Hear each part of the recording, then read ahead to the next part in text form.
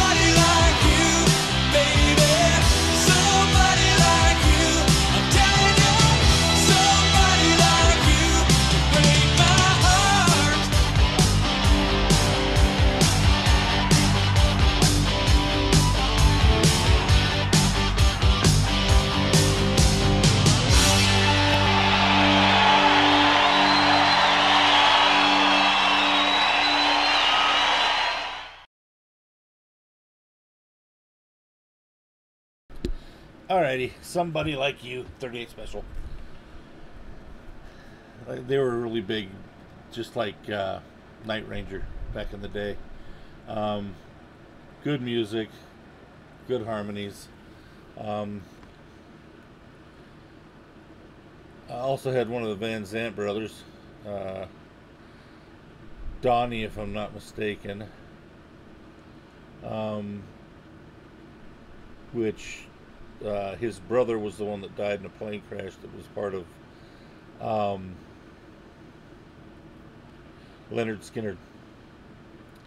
But uh, anyway, a little trivia for you. Anyway, um, I hope you guys enjoyed that as much as I did. That took me back quite a ways. Um, and uh, as I always say, if you want things to change, you got to change. You want things to get better, you have to get better.